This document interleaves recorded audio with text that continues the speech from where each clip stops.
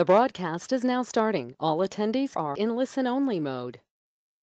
Welcome everyone to Nova 401k Associates webinar, Safe Harbor 401k Plans with Karen Degenhart and Lisa Rodriguez. Before we get started, I would like to point out the panel on the top right-hand corner of your screen.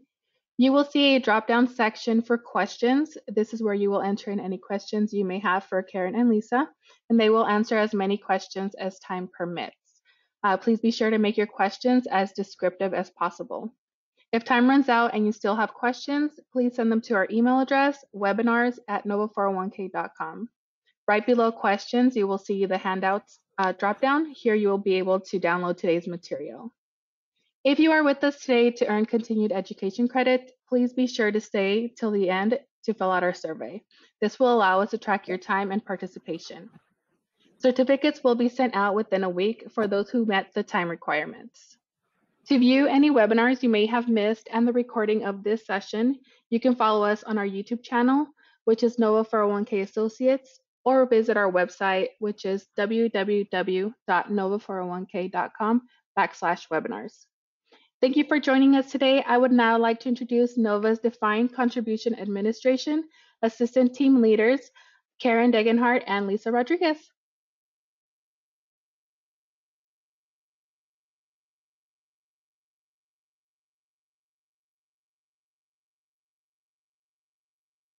Go ahead, Karen. Oh, thank you. thank you. Um, quick disclaimer before we begin. Um, this information, this the information in this presentation is general in nature and not intended to be a substitute for legal or tax advice. Please always consult a tax professional or a legal professional if you need legal or tax advice. Uh, quick reminder on the Texas CPA credit. Um, for those of you out there who will be applying for CPA credit um, for this webinar, Nova's provider number is 009820.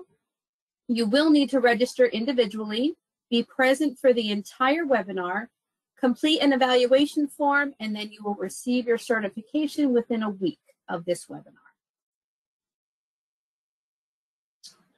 Um, so good afternoon. Um, I am so glad that all of you have decided to join us today for today's webinar on Safe Harbor plans.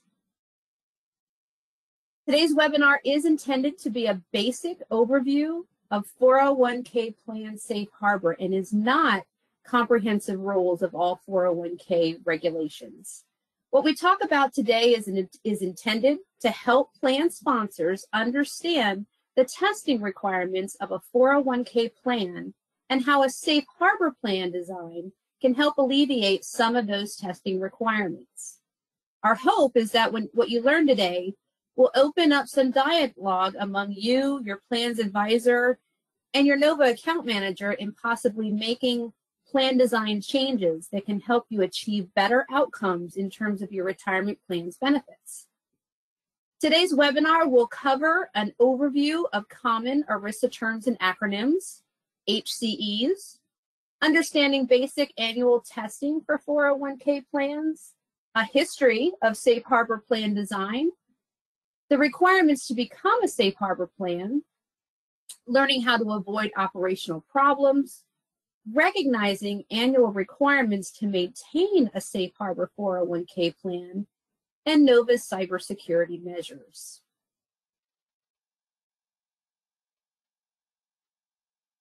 There are many different terms and acronyms used under ERISA. So before we start, let's be sure you have a good understanding of the most common ones. Um, let's start with ERISA. ERISA is the acronym for the Employee Retirement Income Security Act of 1974. ERISA is the federal law that sets the minimum standards for all qualified employer-sponsored retirement plans. 1K is the subsection of the U.S. Internal Revenue Code that allows 401k plans to operate on a tax-favored basis. Deferral, sometimes called a 401k deferral or an employee contribution, a deferral is a piece of compensation that an employee contributes, defers into a 401k plan. It's called a deferral since the employee is placing compensation into account to be deferred until a later date, hopefully retirement. Traditional versus Roth. There are two types of deferrals, traditional deferral, which is not taxed in the year it's contributed to the plan, and Roth deferral, which is taxed in the year it's contributed to the plan. Each type of deferral has different tax rules when contributed to the plan and then again when distributed from the plan. ADP ACP. ADP stands for Average Deferral Percentage. ACP stands for Average Contribution Percentage.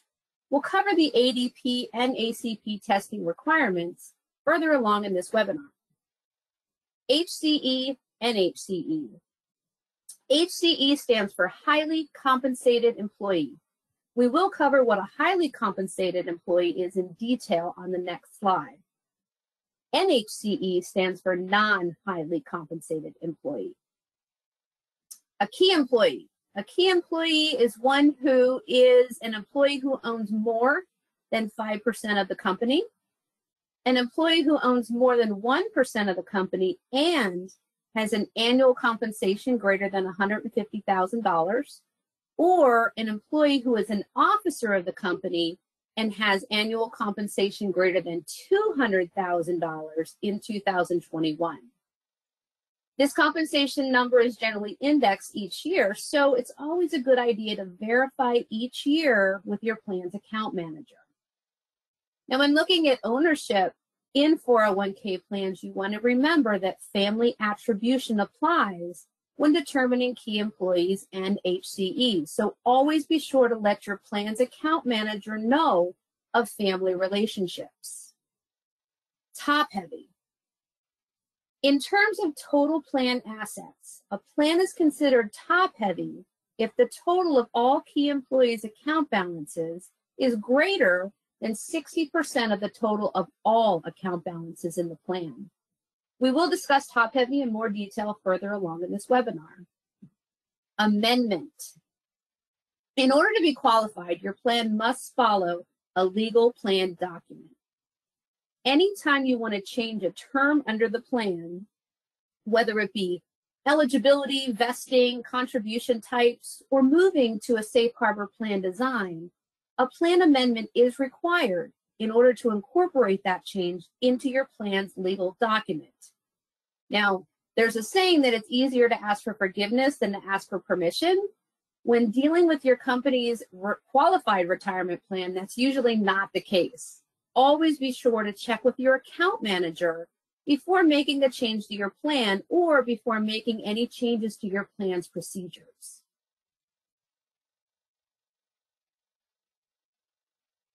The highly compensated employee, the HCE.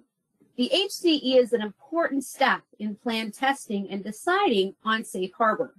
And it's an area where we see our clients trip up quite a bit. So I'd like to go a little bit deeper on this topic. An HCE is an owner that owns more than 5% of the company in the current plan year or the previous plan year.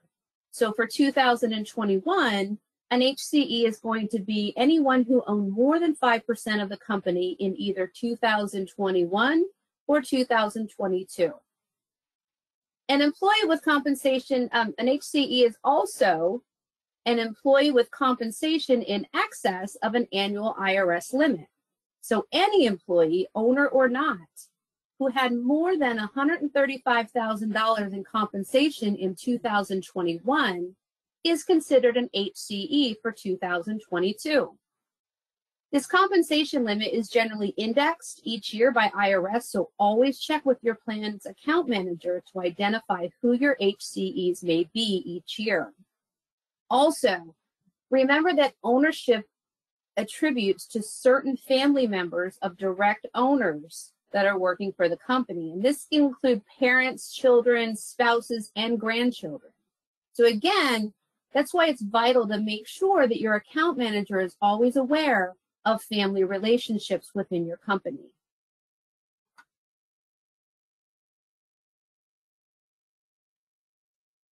Annual testing is how we determine that a company's HCE, those highly compensated employees, are not benefiting from the plan too much more than the company's other non-highly compensated employees.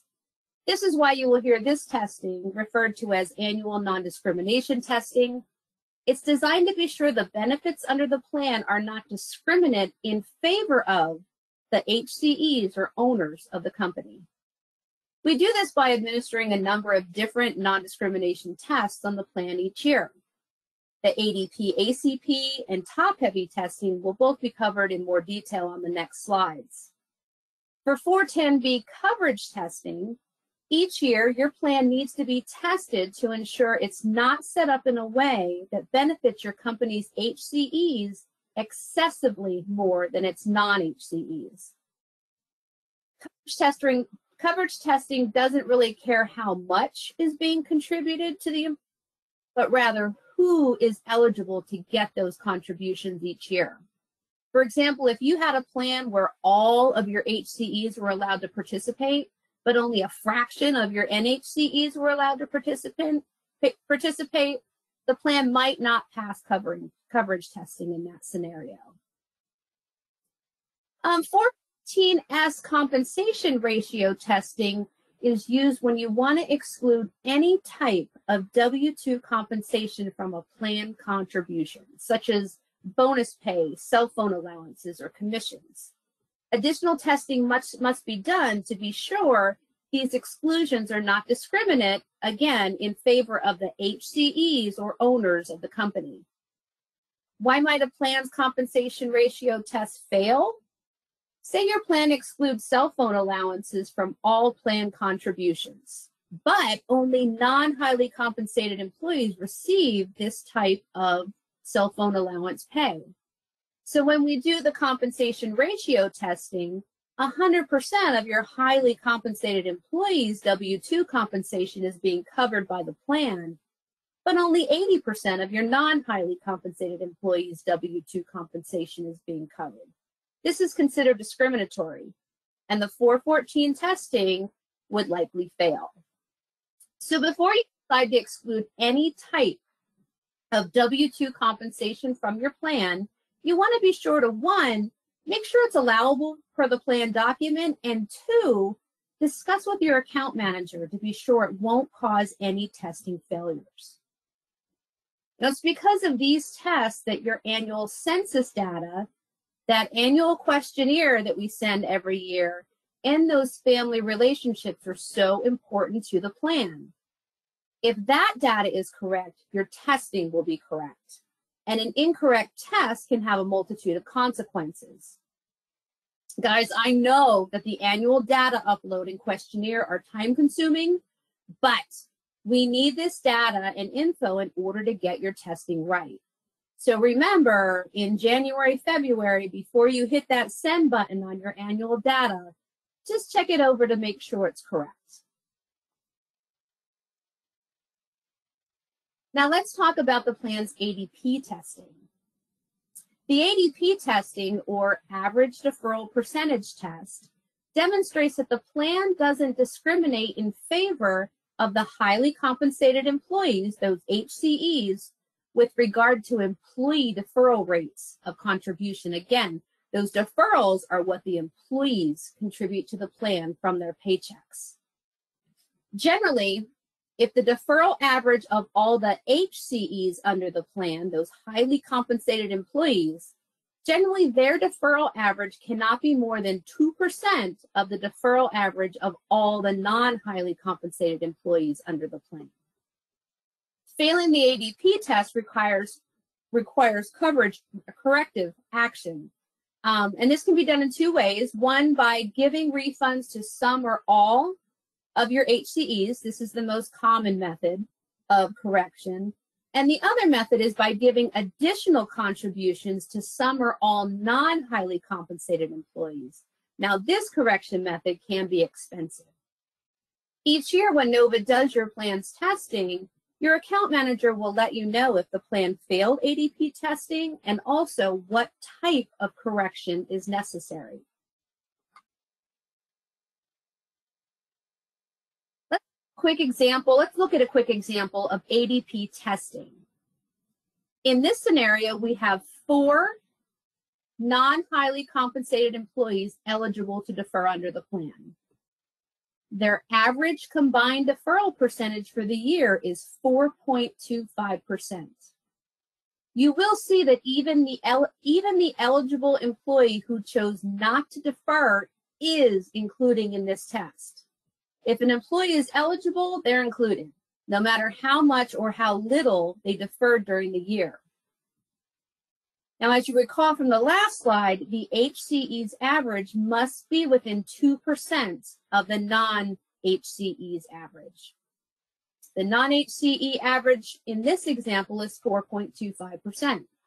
4.25% plus 2% allows for a maximum ADP for the HCE group of 6.25%. So you can see this test fails since the HCE group, those highly compensated employees, they're deferring an average of 9.5%, which is greater than the permitted 6.25% based on the non-highly compensated deferral average for the year.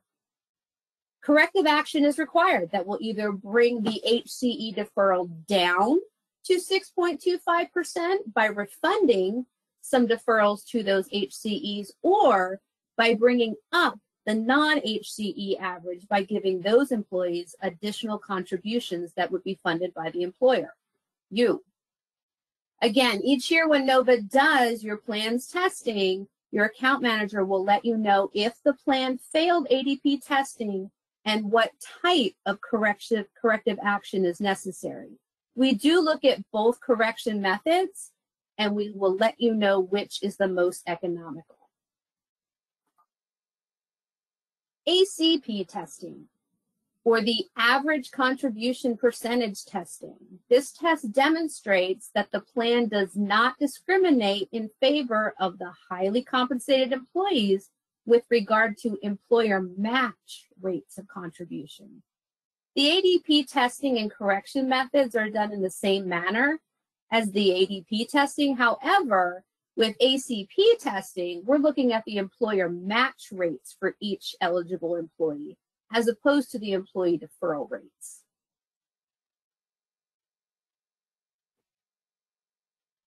Top-heavy testing. In general, a plan is considered top-heavy if the total of all key employees' account balances is greater than 6% of the total of all account balances in the plan.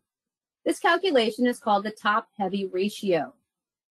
When a plan is top-heavy, it's subject to top-heavy minimum contributions, which are required employer contributions that must be made to all non-key employees who are employed at year-end. This required employer contribution is generally 3% of the employee's total compensation for the year. With top-heavy, an employer contribution is always required. Top heavy cannot be solved by issuing refunds to HCEs or key employees. It can only be solved by contributing additional funds to those non-key employees. So that was a quick, really quick overview of basic 401k plan annual testing requirements. Um, so now we can talk about how a plan can reduce the impact of some of these annual testing requirements on your plan each year. In 1996, the Small Business Jobs Protection Act provided a safe harbor plan design. A safe harbor plan requires that all eligible employees receive a minimum guaranteed employer contribution each year. And in return, the plan is deemed to pass certain non-discrimination testing for the year. Then in 2006, the Pension Protection Act, the PPA, added an additional safe harbor um, plan design called automatic enrollment. Um, well, automatic enrollment, they gave automatic enrollment a qualified option to make it safe harbor. Um, and this additional option is called a QACA, or a qualified automatic contribution arrangement.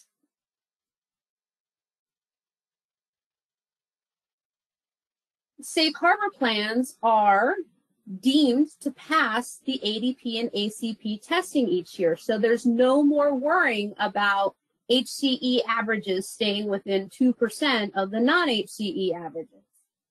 Um, in most cases, a safe harbor plan design will satisfy a plan's top-heavy requirements. And a safe harbor plan design will allow your HCEs, your highly compensated employee, employees, and your owners to contribute the annual IRS maximum deferral each year without, again, having to worry about staying within 2% of the average deferral of the non-highly compensated employees. A safe harbor plan design does not automatically satisfy coverage testing. However, the inherent requirements of a safe harbor plan design will generally cause coverage um, to pass annually. And safe harbor cannot satisfy any 414S compensation ratio testing. So again, if you want to have any, um, if you're thinking about excluding any type of compensation from your qualified plan, you do want to make sure that you discuss this with your account manager beforehand.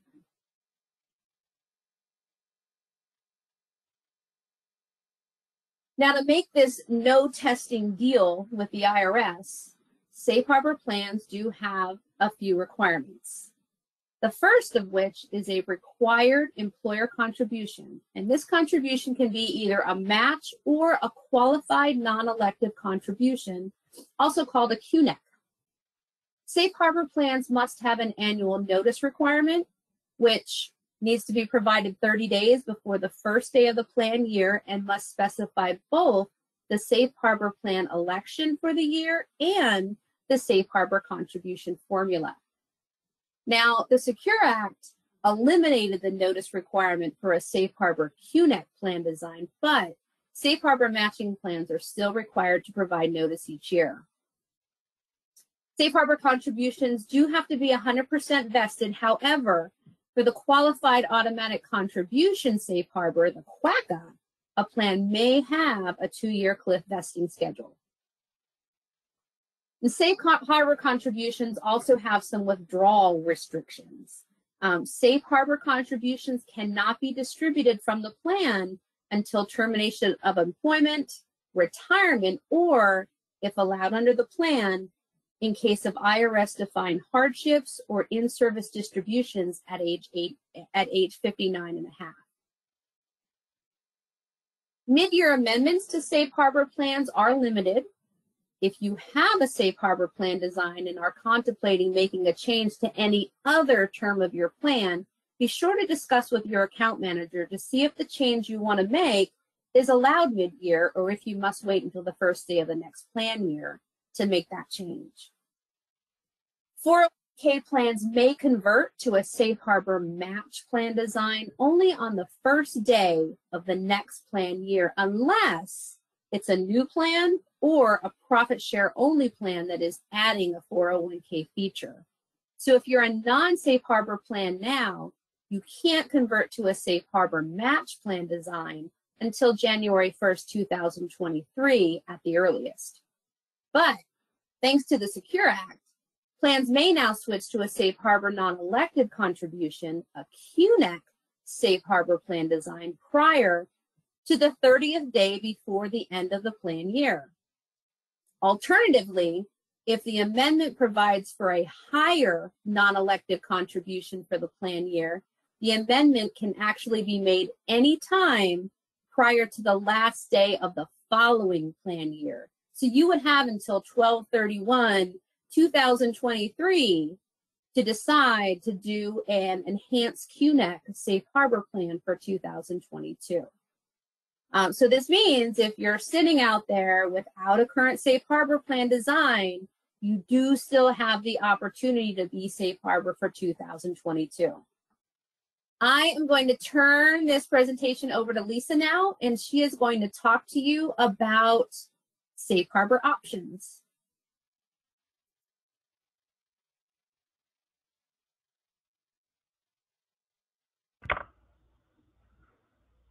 Thanks, Karen. Let me see if I can get this presentation going.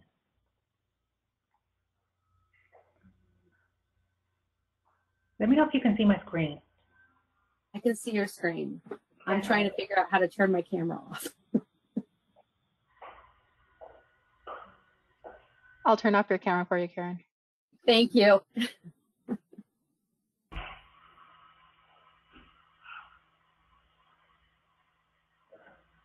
How do you get in presentation mode? If you go up, there's a little uh, projector screen with the triangle on it. There you go. That one? Oh, okay. And you want to go to display settings and swap your screen. There you go. Okay, awesome. Now let me get to the right screen. We'll be on slide 16.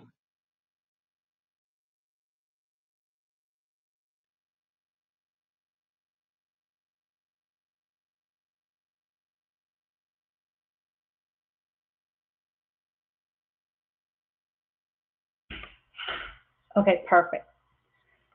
Um, okay, so the next couple of slides, we're going to go over a couple of options that you have in regards to Safe Harbor Plan, uh, different types of formula. You pretty much have at least three options that you can select from. So the first option that we're actually going to start with is with the Safe Harbor Match.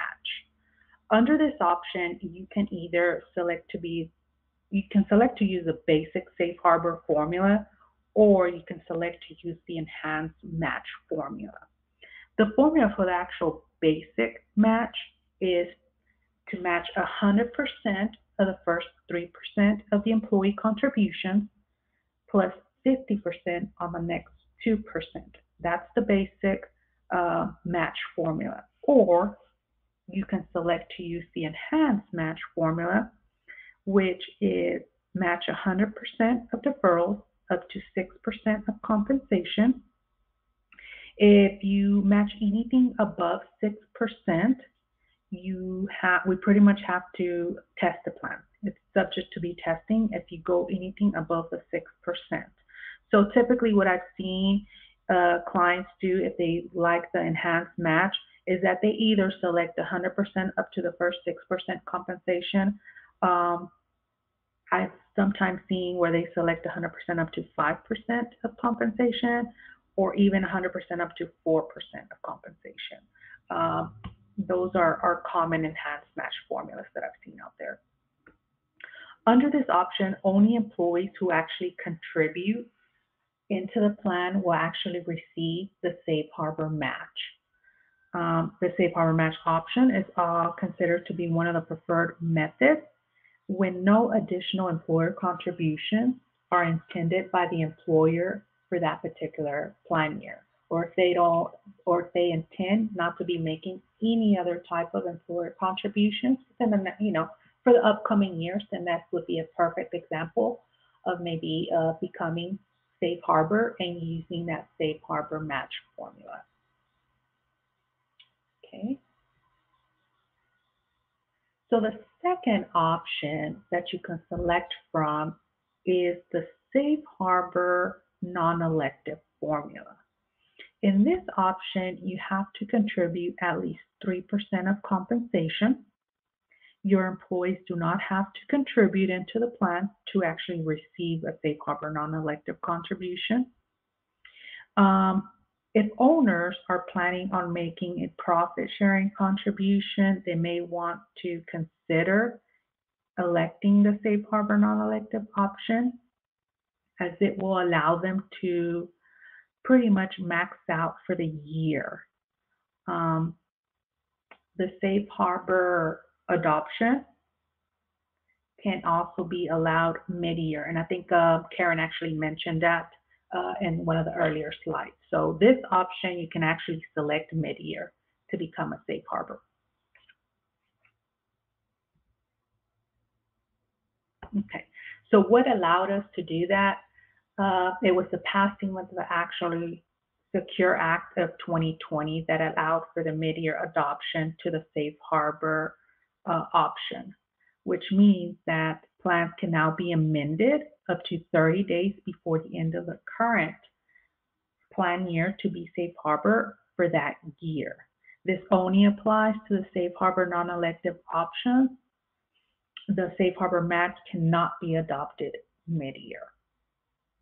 Okay, so now let's go over this example.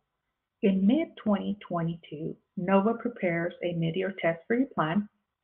The mid-year test fails, large refunds are projected for highly compensated employees.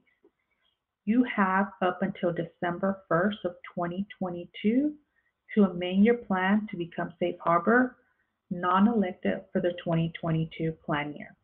All the eligible employees will receive a contribution of 3% of compensation for the plan year, and the plan will no longer need refunds, and the ADP and ACP test will be deemed to pass.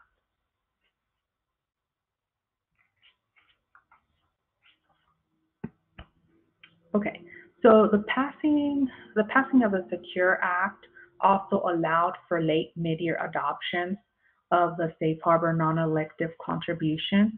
This means that plans that plans can also be amended up to December 31st of the following plan year to be a safe harbor for the previous year. Again, this only applies for the safe harbor option. The safe harbor match cannot be amended mid-year. Okay, so here's the example for this particular situation.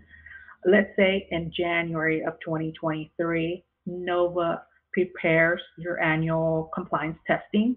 The testing fails and large refunds are now due to your highly compensated employees. You now have up to December 31st of 2023 to amend your plan and become a safe harbor non-elective for the 2022 plan year. All the eligible employees will receive a contribution of 4% of compensation for the 2022 plan year, and the plan will no longer need refunds. The ADP test, along with the ACP test, will be deemed to pass. Will be deemed to pass for the year. Okay, so the third option would be a QACA safe harbor formula. Under this option, you can either elect a 3% non-elective contribution to all eligible employees, or you can elect a tiered match contribution equal to 3.5% of compensation, and that's only if the participant defers at least 6% of their comp. Um, the tiered, the actual tiered match formula in this situation would be match 100% up up to the first 1% of compensation and then match 50% of the up to 6% of the next uh, percent of compensation. So it can be a little tricky um, in calculating this this uh, QACA contribution. So if you ever if you decide to go with this option, definitely get with your account manager. They can definitely help you calculate that contribution for you.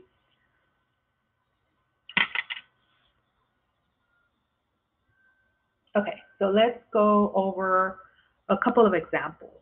So in this first example, we're going to go over the basic safe harbor match uh, formula. Okay, so let's say an employee has compensation equal to $50,000. They're deferring $4,000 for the year or 8% of their compensation. The basic match formula in this example would be 100% of the first 3% deferred and then 50% on the next 2% deferred. Let me see if I can switch this over. Okay, sorry about that. Um, so, so technically what you would do is first you would take uh, the first tier, which is match 100% of the first 3% deferred, equal to would equal to 1,500. So in order to do that, you pretty much take 50,000 times 3%, and you'll end up getting 1,500. The next step would be to match 50% on the next 2% deferred. Um, usually you can take that, you can take the 50,000, multiply by 2%, and you'll end up getting like $1,000 then you'll divide it by 50 and then you'll get $500. So if you add the 1,500 and the $500, The total match in this example would be $2,000 that the employee would get.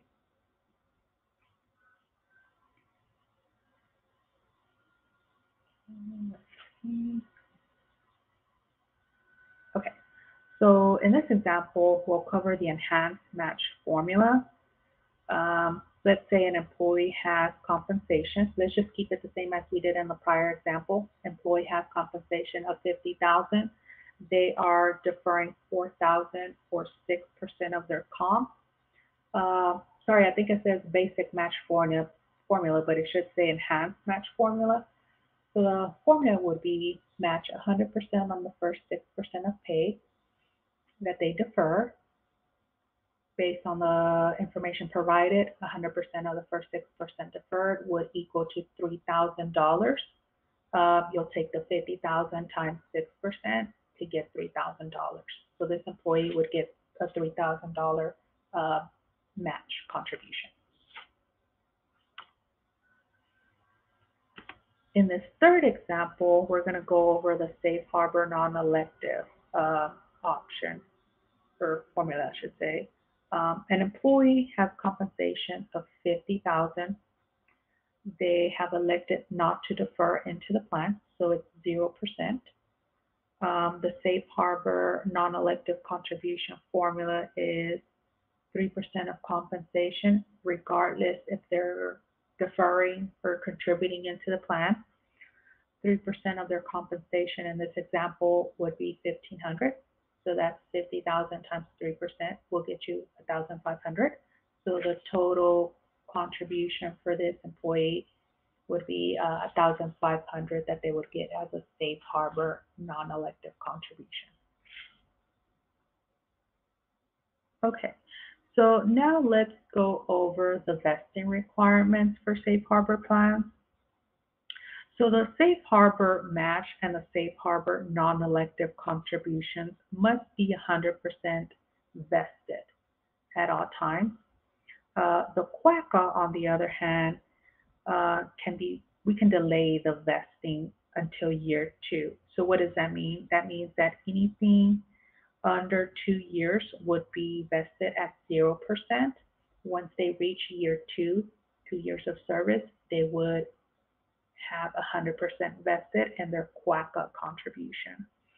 Uh, three, uh, all other employer contributions under the plan are subject to their regular vesting schedule. If you're not familiar with the vesting schedule for like, let's just say the profit sharing contribution, or if they're doing like a discretionary match, um, check the plan document. That should state what vesting schedule your plan is currently using.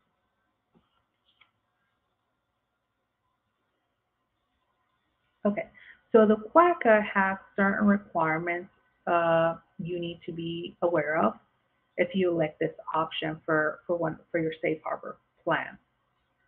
So first, uh, it, ha it does have to be an auto enrollment feature within uh, the QACA. It has to be a minimum default percentage of 3% and a maximum of 15%. Second, is that auto escalation will be required. If the defaulted rate is less than the 6%, then auto enrolled participants must be auto escalated each year until they have reached at least 6%. Now, the employer does have the option to elect to continue to auto escalate uh, until a maximum of 15%.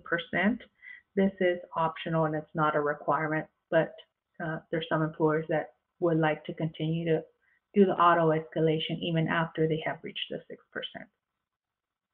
So if, if, one thing that I do want to mention is that if you do like the QACA formula and you want to proceed with it, is make sure that your vendor can accommodate auto escalation. There's some vendors that that can easily help you make things easier by helping you with the auto escalation each year. So definitely check with your vendor if uh, you're interested in this QACA formula.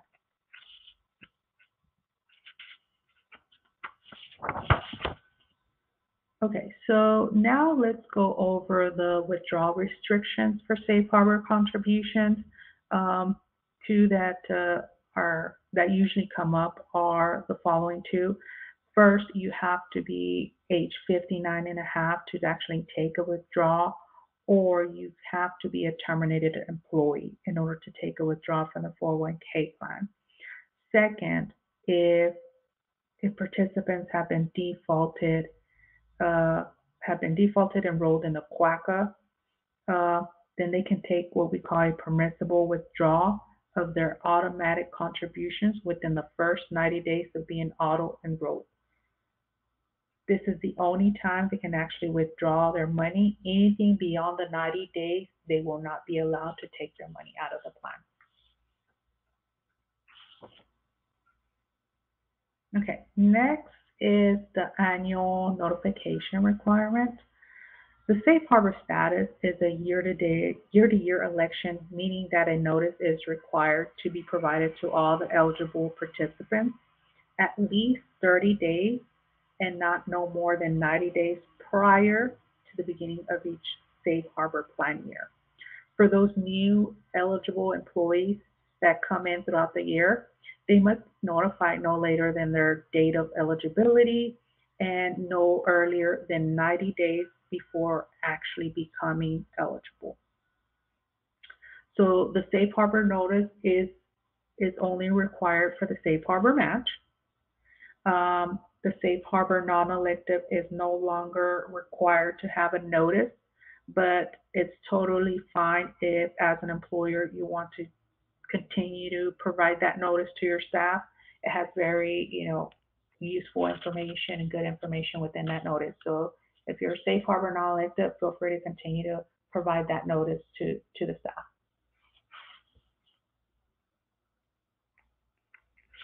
Okay, so you um, you may be asking what's in that notice. So here's a couple of items that are actually included within the within that uh, safe harbor notice. First, the notice should actually include the safe harbor formula. Whatever type of formula you're using, make sure that the notice includes uh, the formula. It can be the basic safe harbor match, the enhanced, or the QACA. Uh, the notice should also include the employee contribution limits for the year, uh, any other uh, discretionary employer contributions that the plan allows, those items, or those contribution types will be included. The plan name to which the contributions are being made to is included as well. The plan's compensation definition is on is in the notice. Um, the withdrawal provisions under the plan are included in the notice. The vesting is also included and it's included for all the source types. So any type of contribution that is allowed under the plan, those will be listed on the notice and it would include the vesting associated with that source.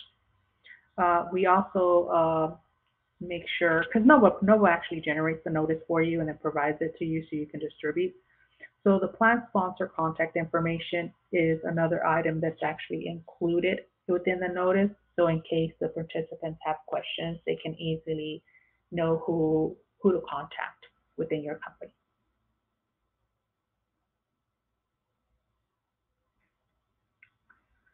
Okay, so now let's go over uh, avoiding operational problems. So there's been a couple of uh, problems that we have seen, and I just uh, picked up, you know, three that we have seen come up. So the first one is safe harbor matching contributions. They need to be limited to the they need to be limited to the annual compensation cap of 305,000 for 2022. Now this cap changes. So for 2022, if there's anybody contributing in excess of you know 305, make sure you cap them at 305,000 for 2022. Two, the safe harbor contributions must be deposited to the correct source type. That we've seen errors where they're being deposited to the wrong type uh, at the investment company. And three, do not match the catch-up contributions separately from the regular employee deferral contribution. Um, it'll give you a different calculation. So make sure that you don't calculate that contribution separately. Okay, so going back to to the very first um, problem is uh, the IRS compensation limit. So the annual compensation limit for 2022, as I mentioned, is 305,000. This is an IRS limit and may be changed from year to year. NOVA um, NOVA will uh, inform you of the new IRS limits in the fourth quarter of each calendar year. Why the fourth quarter? Because that's usually when the limits come out. So as soon as uh, they actually become available to us, then we'll pass that information along to you so you can be aware of the upcoming limits for the upcoming year. Okay, so let's go over a compensation limit example. Let's say Acme 401k plan has a dollar for dollar safe harbor match of the first 4% contributed by employees. This means that the maximum match any one participant can receive for the 2022 plan year is $12,200. And you'll determine that amount by taking 305,000, multiplying it by 0.04% to get 12,200. So any safe harbor match contributions over 12,200 will be forfeited along with any earnings or losses associated with that. Something important to note is that the annual compensation limit applies to the non-safe harbor contributions as well.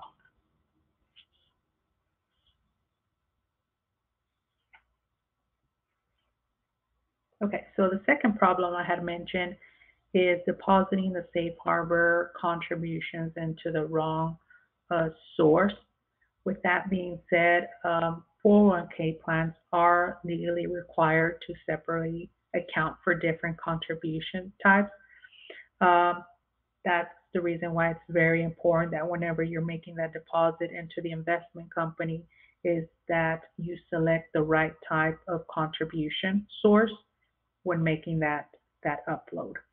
Uh, simply because distribution options differ from source to source um, the vesting is also different for each source. So here's a couple of contributions that are typically allowed within 401k plans. So the employee source, for example, that is always 100% vested. The Roth, same thing, always 100% vested. Now, when it changes is if if the plan allows for non-safe harbor match and profit sharing, those have a vesting schedule tied to it. Uh, if you're not familiar with the vesting schedule, make sure you check the plan document as it will provide you the type of vesting schedule that the plan allows for those two contribution types. And, and of course, the, the safe harbor contributions, uh, other than the QACA, of course, is 100% vested. QACA is 100% vested in year two. So that's, that's some are good reasons as to why it's very important that when you make that deposit, you deposit it into the correct uh, source type. Okay, uh, third problem is re regarding the catch-up contributions. Um, as a reminder, make sure to add catch-up and non-catch-up employee contributions together in determining the employee's deferral rate and in determining the safe harbor matching contribution. Um, same thing would apply with the employee Roth, Roth versus non-Roth employee contributions. Um, you would add both of them together to determine what the contribution would be.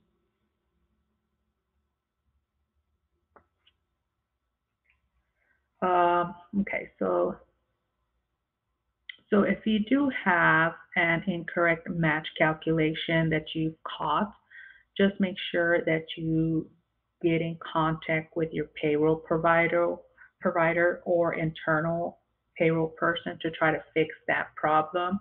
If you don't have a problem yet, just make sure that, you know, year, especially at the beginning of the year, because the limits change, make sure that you're actually calculating that match correctly so make sure you get with your provider or your internal person to make sure that the proper steps are taking place to either avoid it or correct it. Um, the tiered safe harbor match formula is very common, but can sometimes be calculated incorrectly.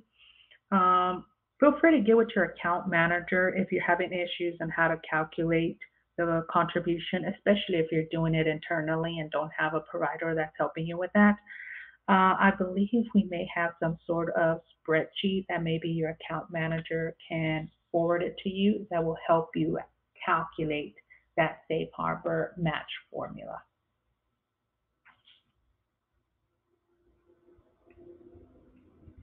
Okay, so you may be asking, is safe harbor plan right for you and the company? Uh, if any of the following actually apply, then you may want to consider uh, going with the safe harbor plan. So one, do you often fail the ADP and ACP discrimination testing that results in your highly compensated employees needing refunds? Two, do you actually have low participation rates from your non-highly compensated employees?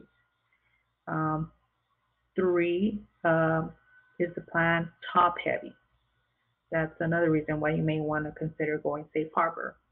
Uh, four, do you want to bring key employees to the IRS maximum limit for the year? And for in this case, the maximum limit currently is 61,000.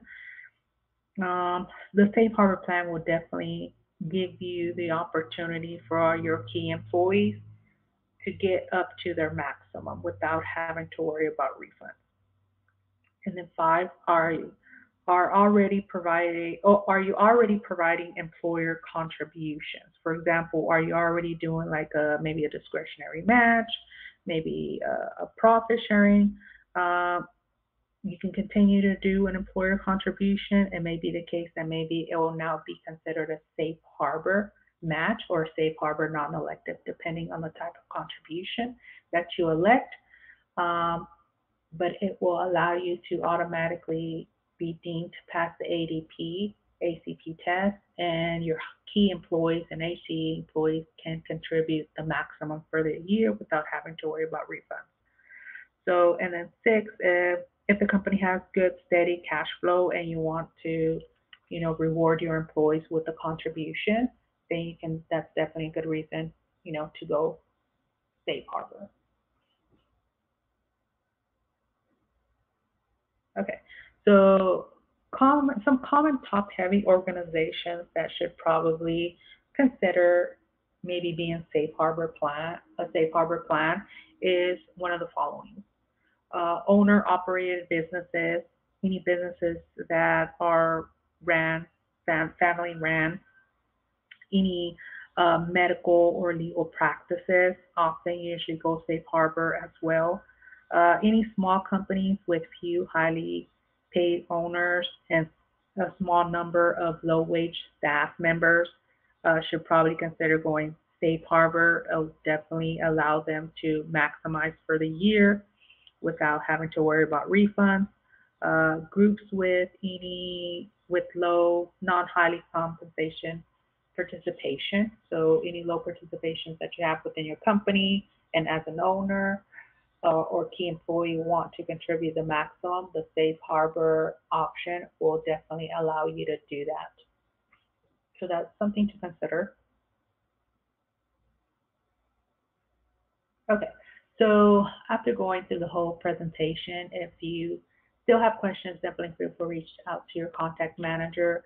Uh, but if you're ready to proceed with the safe harbor contribution option for the 2023 plan year, uh, contact your account manager at least by November 5th as the document does need to be amended by December 1st of 2022 uh, we do have to, you know, generate the notice for you, and that notice does have to be distributed to participants by December 1st, 2022. You also want to make sure that you give participants the option of maybe changing their elections for new participants, maybe giving them the option of electing uh, a new election for the year if they're eligible. Um, you have to make sure that you notify the record keeper. They have to set it, set up the safe harbor contribution source or bucket. Um, that way it can be ready for the upcoming year. And, it does take time, so we definitely want to make sure that get all this information at least by November 5th so we can prepare the plan going safe harbor for the 2023 plan year. Um, and lastly is that you also will need to notify your payroll department of the change. So for example, if you're doing it internally, you're going to have to take uh, steps into calculating the contribution, making changes for the upcoming year. Uh, and if you're using an outside provider, you would have to notify them, especially if they can help calculate that contribution for you. Okay, so at this time, I'm going to go ahead and turn it over to Karen for the cybersecurity measures. All right, real quick, um, I know we're almost right at the top of the hour. Um, let's just take a few minutes to review a little cybersecurity. Um.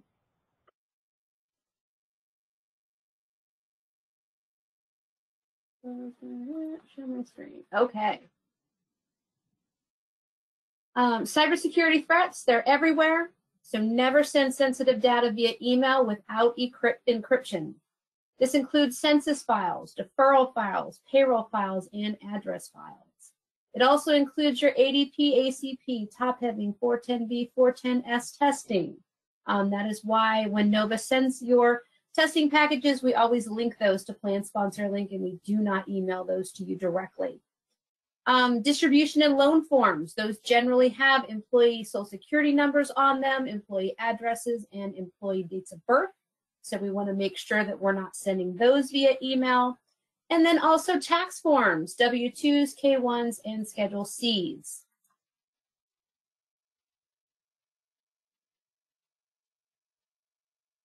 Uh, those of you that are clients of Nova, um, you know, be sure to take care, take take advantage of our secure web portal on Plan Sponsor Link.